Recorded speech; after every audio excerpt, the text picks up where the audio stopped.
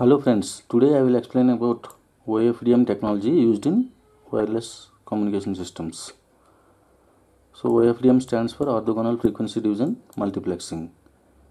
It is a key broadband wireless technology used in Wi-Fi, WiMAX, 4G wireless cellular networks. High data rates in 4G, Wi-Fi, WiMAX are possible because of OFDM technology. So the need for OFDM is the thrust for high data rates in future wireless communication systems as well as present wireless communication systems. OFDM is combination of modulation and multiplexing techniques. So modulation is fundamental requirement of any communication system, whether communication system may be AM, FM, Wi-Fi, WiMAX, whatever may be the communication system. So modulation is the fundamental requirement. So multiplexing is used to transmit two or more data signals over single communication channel. Note that the term multi refers to more than one or we can also say two or more. So OFDM is a multi-carrier communication system. As we can see here, OFDM refers to multi-carrier communication or multi-carrier modulation technique. Here we try to understand what is multi-carrier communication system. As we know, carrier is used to carry input signal from one place to other place. The carrier that we use in communication systems are a sinusoidal signal. Either sine wave or cosine wave is used as a carrier. In single carrier communication systems, we use one carrier. Such systems are AM, FM, etc. In multi-carrier communication system, we use more than one carrier. That is, two or more carriers we use to transmit the input data.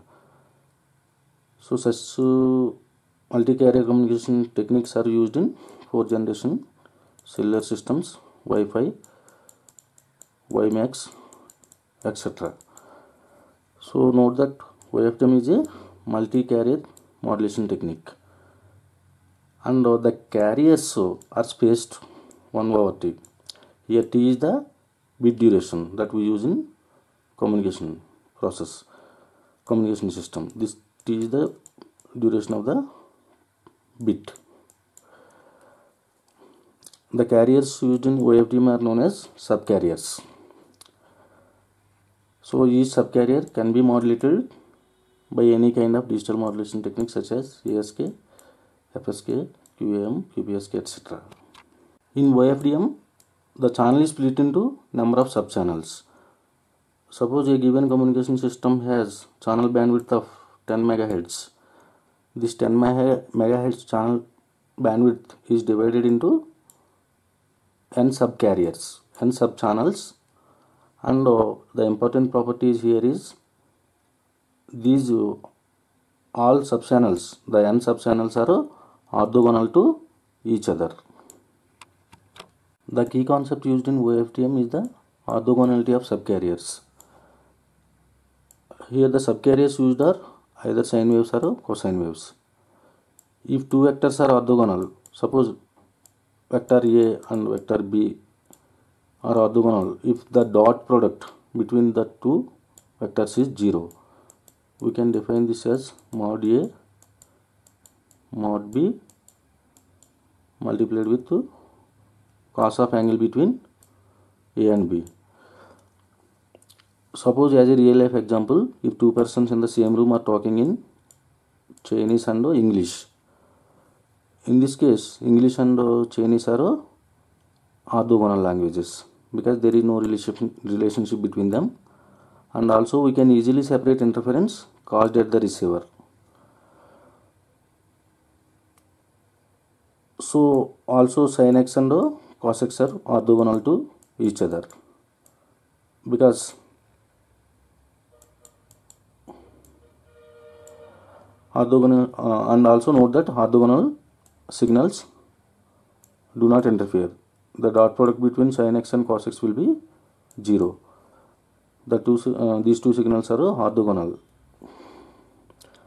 Note that orthogonal signals are extensively used in communication industry The orthogonality allows simultaneous transmission of lot of subcarriers without interference from each other.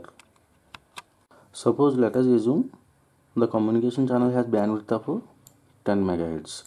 This 10 megahertz bandwidth is subdivided into number of sub channels or number of subbands we denote it as n.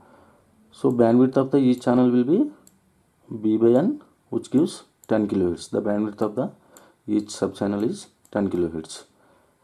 These smaller bands are called sub bands or sub channels. A system with multiple sub bands and multiple subcarriers is termed as MCM multi-carrier modulated system. The basic principle of OFDM is split high data rate input streams into number of low data rate input streams. So each low data rate stream is transmitted in different sub subchannel. OFDM uses large number of closely spaced orthogonal subcarriers. Each carrier is modulated with a conventional modulation scheme such as QAM, QPSK, etc. Here I will explain basic principle behind the OFDM. Suppose let us have n subcarriers. And all the n subcarriers must be mutually orthogonal. And we have a input bit stream with high bit rate of 10 megabits per second. And the value of subcarriers is 1000 we use 1000 subcarriers or 1000 subchannels. So this high data rates bit stream is divided into low data rate bit streams using the formula like this so after dividing this high data rate bit stream into low data rate bit streams each sub channel carries 10 kilobits per second lower data bit rate. Here I try to explain OFDM concept in real life analogy.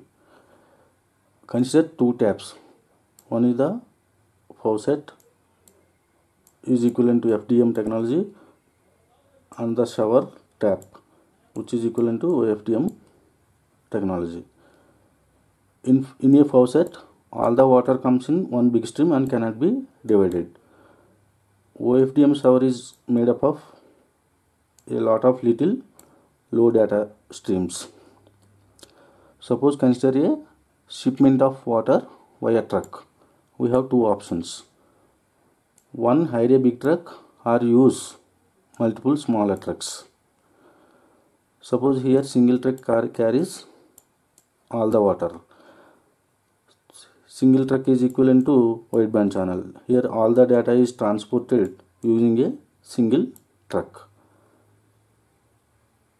In OFDM we use multiple narrowband channels or multiple trucks to carry blocks of data this entire data is divided into n number of blocks and each block is transmitted in a separate truck the advantage of uh, using OFDM is in case of accident only one fifth of data on the OFDM tracking will will be lost.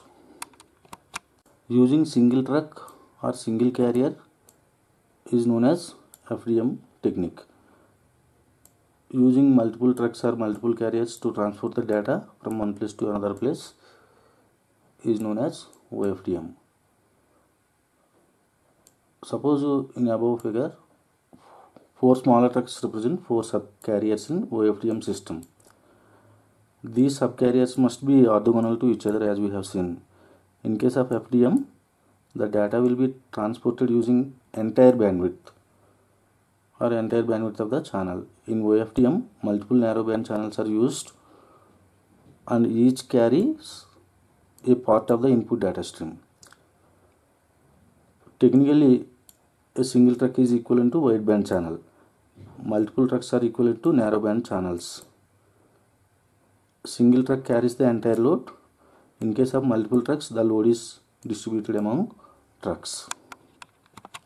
OFDM applications include Wi-Fi, which is wireless fidelity and also known as wireless local area network and also used in WiMAX worldwide interoperability for microwave access and 4G cellular communication systems called LTE long term evolution standard and digital audio broadcasting video broadcasting multimedia to handheld devices and used in PLC power line communications